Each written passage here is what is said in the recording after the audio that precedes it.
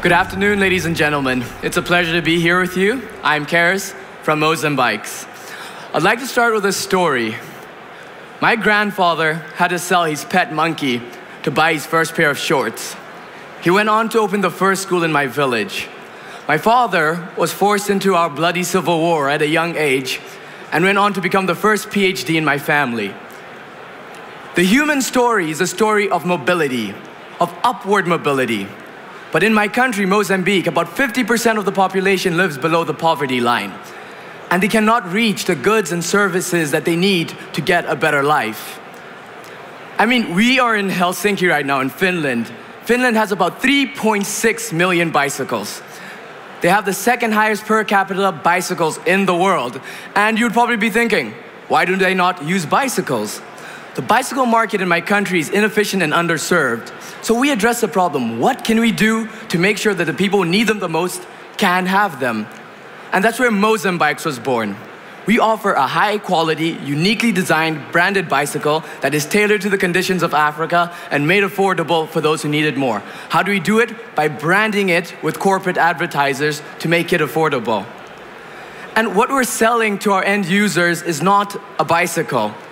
We're selling access to water, access to schools, access to healthcare, access to labor, more time with their families.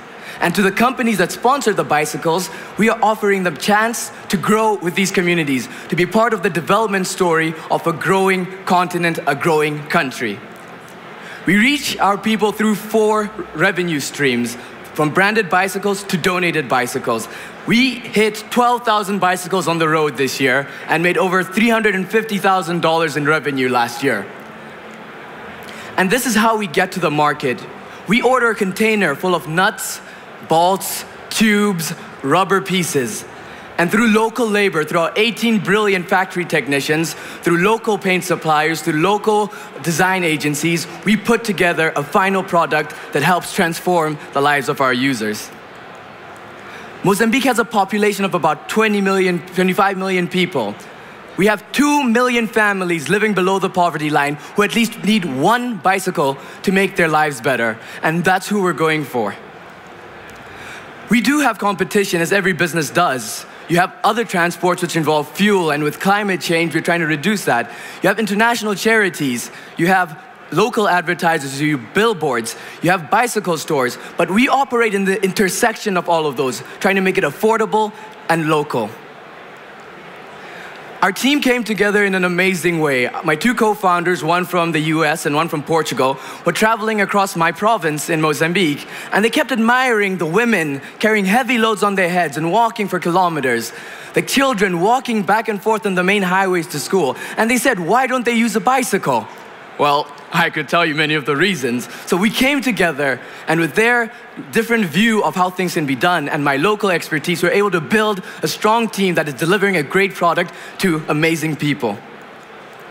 We started our pilot in 2012 by assembling one bicycle and selling a container of 900. We went on to grow to 3,000 bicycles per year. This year we hit 12,000 bicycles on the road, and we have quotes out for 1,500 bicycles this year. What we're looking for is scale, is growth. We have proven our model and we want to reach the growing African people who really need this. And what we're looking for is a sales team development initiative. We're looking for expansion into our neighboring countries, South Africa and Swaziland. And we want to increase our capacity from the 3,500 bicycles we do per year now to 25,000 bicycles in the next five years. Thank you very much. Please buy, donate, advertise with Mozambikes.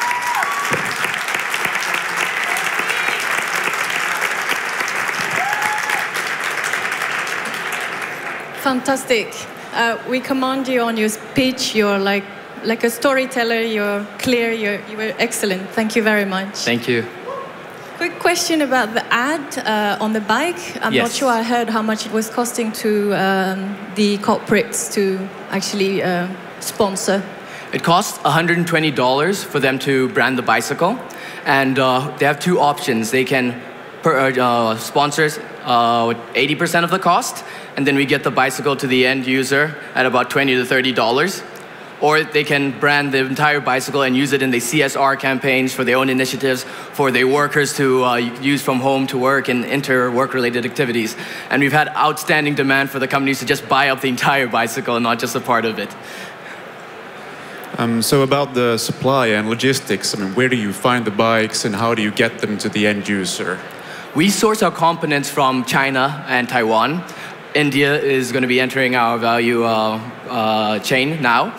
And we bring these all in as little nuts and bolts and little pieces. Nothing is assembled. We fit over a thousand into one container. And then we add to local labor by having everything done in our warehouse in Mozambique. Karis, your passion is really contagious, so it's always a lovely energy. I have a question. Can you tell us a little bit about the demographics of your current user base? You said you have 12,000 bikes now. Is it mostly younger children, women, employees who are currently using this? Uh, the biggest recipients of these bicycles have been women, followed by men working in uh, urban areas for commuting. We have not designed a child bike yet. That's part of our growth initiative to add some more uh, products to our line. Uh, but those are the main, uh, the main uh, avenues. So we have about 60% uh, women use, and we just finished a training program to train 20 women technicians in the various communities where you've distributed bicycles. And do you also have to teach people how to ride a bike, or is that something that you just... Excuse me, sorry?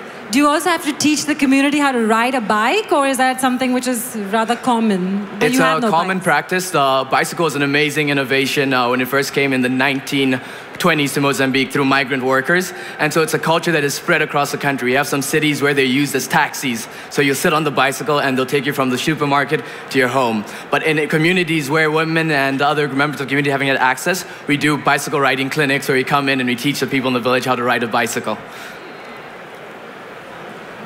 Awesome. Thank you. Thank you very much. Thank you, Helsinki.